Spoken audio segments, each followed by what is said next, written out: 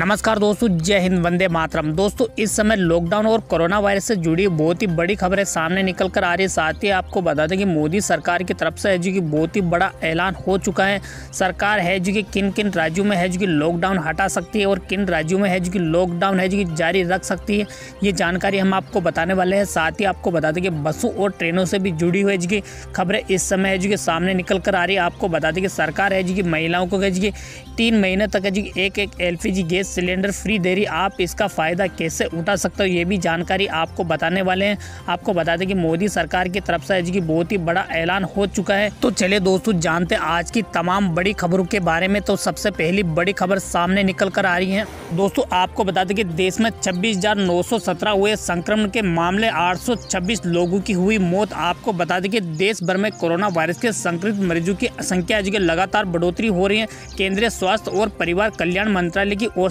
जारी आंकड़ों के मुताबिक पिछले 24 घंटों में उन्नीस नए मामले सामने आए और सैंतालीस लोगों की मौत हो गई। इसके बाद देश भर में कोरोना पॉजिटिव मामलों की कुल संख्या है जो कि छब्बीस हो गई है, जिसमें से जो कि बीस सक्रिय हैं। आपको बता दें कि पाँच हज़ार नौ सौ चौदह लोग स्वस्थ हो चुके हैं, उन्हें अस्पताल से जो कि छुट्टी दे दी गई, लेकिन आपको बता दें कि 826 लोगों की मौत हो चुकी है। तो चलिए दोस्तों, जानते हैं अगली खबर के बारे में।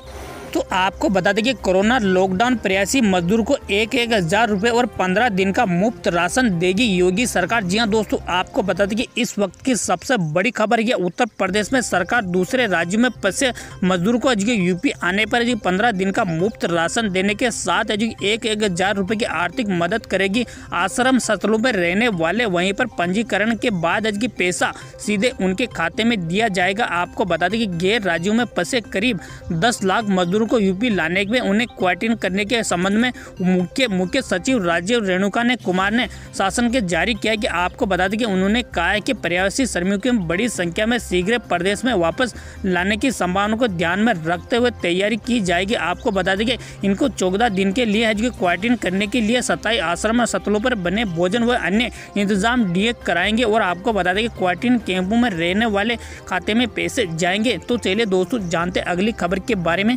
दोस्तों, आपको बता दें कि अमेरिका में कोरोना वायरस का कहर जारी पिछले 24 घंटों में की 1330 की मौत आपको बता दें कि दुनिया भर में कोरोना की सबसे खतरनाक मार झेल रहे हैं। अमेरिका के आज कोविड उन्नीस से तेरह सौ लोगों की मौत दर्ज की गई। आपको आपको बता दें कि आंकड़ा जॉन होपी यूनिवर्सिटी के द्वारा, डेली द्वारा जारी किया गया। अमेरिका के विदेश मंत्री माइक होपियो ने कहा है कि अमेरिका दूसरे देशों के साथ मिलकर काम कर रहा है और उन्हें यह समझना है कि कोरोना वायरस की उपस्थिति चीन से वुहान शहर से हुई आपको बता दें कि उन्होंने कहा कि वायरस कहाँ से आया और ये समझने की ज़िम्मेदारी चीन की है। उन्होंने बेन सापिरू के भाई शुक्रवार को कहा है कि चीन को दिसंबर 2019 में वायरस के बारे में पता था। उन्होंने कहा है कि हमें अमेरिका में हुई मौतों के और यहाँ जिस तरह से आर्थिक नुकसान का सामना करना पड़ रहा है, उसके लिए जी जिम्मेदार पक्षों के जवाबी दे तय करनी होगी। तो चलिए दोस्तों, जानते अगली खबर के बारे में। दोस्तों, आपको बता दें कि पीएम मोदी आज मुख्यमंत्रियों के साथ करेंगे बात। लॉकडाउन खुलने पर रोड मैप पर हो सकती है चर्चा। आपको बता दें कि कोरोना वायरस के खिलाफ लड़ाई में किस तरह से आगे बढ़ना है, इसके बारे में है कि प्रधानमंत्री नरेंद्र मोदी आज सुबह दस बजे वीडियो कॉन्फ्रेंस के ज़रिए राज्यों के मुख्यमंत्रियों के साथ संवादात करेंगे। यह संवादात इस संकेत को बीच हो सकेगा कि लागू लॉकडाउन को चरणबूत तरीके से समाप्त करने की केंद्रीय हो सकता है। आपको बता दें कि देश में कोविड उन्नीस के प्रसार के बाद आज के मुख्यमंत्रियों के साथ प्रधानमंत्री मोदी ये तीसरी वीडियो कॉन्फ्रेंस होगी। आपको बता दें कि केंद्र और राज्य सरकारें आर्थिक गतिविधियों को बढ़ावा देने के लिए लोगों को राहत प्रदान करने के साथ ही आपको बता दें कि लिए विभिन्न क्षेत्रों के कर्मिक छूट दे रही हैं। आपको बता दें, हालाँकि कुछ राज्यों में लॉकडाउन को तीन मई के बाद भी जारी रखने की इच्छा जुग है, ताकि इससे सुनिश्चित किया जा सके कि कोरोना वायरस को मामले नियंत्रण है। तो चले दोस्तों, जानते अगली खबर के बारे में। दोस्तों, आपको बता दें कि बैंक ऑफ़ बड़ौदा के बैंक सहायकों को हेल्थ इंश्योरेंस कोरोना से मृत्यु पर परिवार को मिलेगी 10 लाख की सहायता। आपको बता दें कि सार्वजनिक क्षेत्र का बैंक ऑफ़ बड़ौदा दूर दराज ग्रामीण क्षेत्रों में बैंक के लिए काम करने वाले बैंक सहायकों को कि उनकी कोरोना वायरस से मृत्यु से पर होने पर है कि उनके परिवार को दस लाख रुपये की अनुग्रह राशि दी जाएगी। इसके अलावा है, जो उन्हें साठ हज़ार रुपये का बीमा भी कवर भी उपलब्ध कराया जाएगा। बैंक ऑफ़ बड़ौदा ने एक बयान में कहा है कि के अपने बैंक में सहायकों को वित्तीय सुरक्षा की ओर से ध्यान में दिया है, कोरोना वायरस से मृत्यु की स्थिति को उन्हें के नामिक को दस लाख रुपए की अनुग्रह राशि दी जाएगी। वहीं क्षेत्र में सक्रिय और बैंकिंग एजेंट को जी साठ हज़ार रुपए का स्वास्थ्य बीमा भी दिया जाएगा। तो चलिए दोस्तों, जानते अगली खबर के बारे में। तो आपको बता दें कि मन की बात में बोले पीएम मोदी लॉकडाउन ने बदला नज़रिया पुलिस की भी हो रही है। तारीफ़ आपको बता दें कि प्रधानमंत्री नरेंद्र मोदी ने आज एक बार फिर भी फिर रेडियो कार्यक्रम के मन की बात में देश को संबोधित किया। पीएम ने कहा है कि कोरोना लॉकडाउन के दौरान है लोगों का नज़रिया बदला है। उन्होंने कहा है कि डॉक्टर और सफ़ाई कर्मी और अन्य सेवा करने वाले लोगों को इतना ही नहीं, हमारी पुलिस व्यवस्था को लेकर भी आम लोगों की सोच काफ़ी बदला हुआ। आपको बता दें कि कोरोना वायरस वायरस के खिलाफ जंग पर चर्चा करते हुए पीएम मोदी ने कहा कि थाली थाली, ताली और दिया मोमबत्ती सारी चीज़ों के जिन भावनाओं को जन्म दिया इस जज्बे से देशवासियों ने कुछ ना कुछ करने का ठान लिया। आपको बता दें कि हर किसी को इस बात तक्रिया है कि आपको हमारे किसान भाई बहन और देखिए, वो इस महामारी के बीच अपने खेतों में दिन रात मेहनत कर रहे हैं और इस बात की भी चिंता कर रहे हैं कि कोई देश में भूखा ना सोए। तो चलिए दोस्तों, जानते अगली खबर के बारे में। दोस्तों, आपको बता दें कि लूप लाइन में बढ़ेगी ट्रेनों की स्पीड माल गाड़ी में कम होगी गार्ड की उपयोगिता। आपको बता दें कि लॉकडाउन में हटने के पूर्व रेलवे ने परिचालन दक्षता के बाद एक सुधार लाने के लिए कार्य शुरू कर दिया।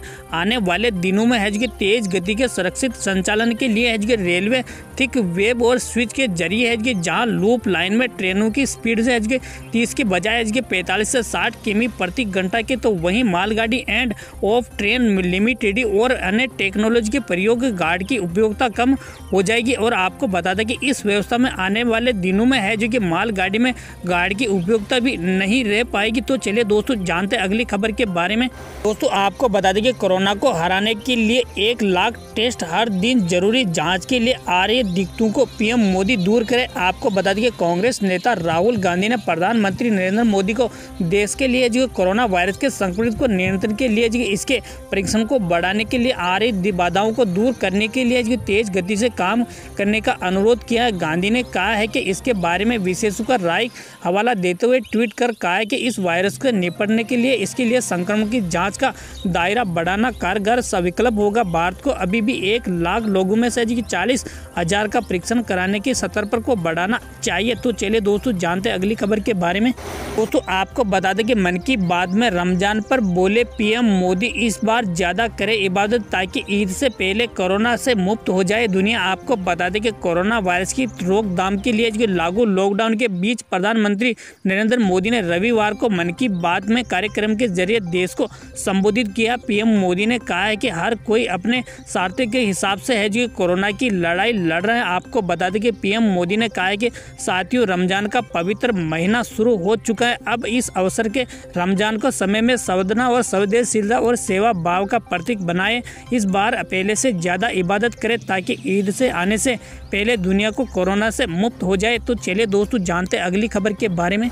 तो आपको बता दें कि आगरा के मेयर की सीएम योगी से अपील, कहाँ शहर वुहान बन सकता है, बचा लीजिए। आपको बता दें कि आगरा के मेयर ने मुख्यमंत्री योगी आदित्यनाथ को पत्र लिखा, जिसमें उन्होंने शहर को कोरोना वायरस से भयानक रूप लेने से चेतावनी दी। पत्र में मेयर ने कहा है कि अगर तुरंत कदम नहीं उठाए गए तो आगरा देश का वुहान बन सकता है। मेयर ने नवीन जैन ने शहर को कोरोना की स्थिति से जिला प्रशासन की लचर कार्रवाई और मुख्यमंत्री योगी आदित्यनाथ और उप मुख्य मुख्यमंत्री दिनेश शर्मा को पत्र लिखकर अजय अवगत कराया है कि जैन ने शहर को कोरोना वायरस से के मामले बढ़ने का दावा किया। तो चले दोस्तों, जानते अगली खबर के बाद तो आपको बता दें कि लॉकडाउन का एक महीना योगी ने संक्रमण पर तेज प्रसार पर लगाई ब्रेक पर चुनौतियाँ अब भी कम नहीं हुई। आपको बता दें कि कोरोना संक्रमण के तेज प्रसार पर रोकने के लिए लागू किए गए लॉकडाउन का एक महीना पूरा हो गया है। ये समय आम जनता के लिए है, जो समय का था। लेकिन आपको बता दें कि सरकार के लिए कठिन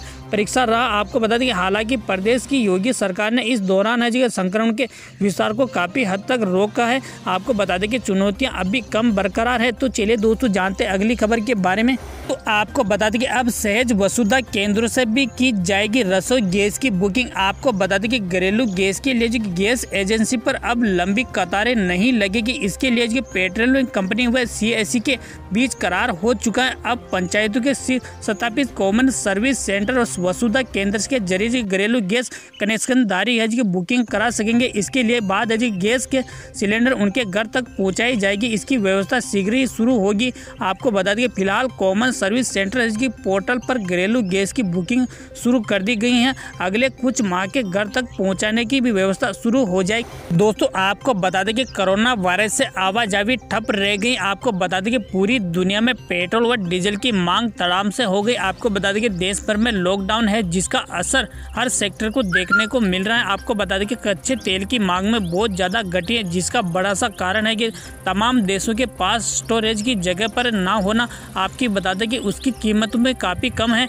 लेकिन भारत में पेट्रोल और डीजल के दाम भी आज भी कोई बदलाव नहीं हुआ। तो दोस्तों, रोज़ाना देश की सभी बड़ी खबरें फटाफट जानने के लिए हमारे चैनल को अभी लाल बटन दबाकर सब्सक्राइब ज़रूर कर ले और आप हमारी इस वीडियो को अधिक से अधिक शेयर करें। तब तक के लिए नमस्कार दोस्तों, जय हिंद बंदे मातरम।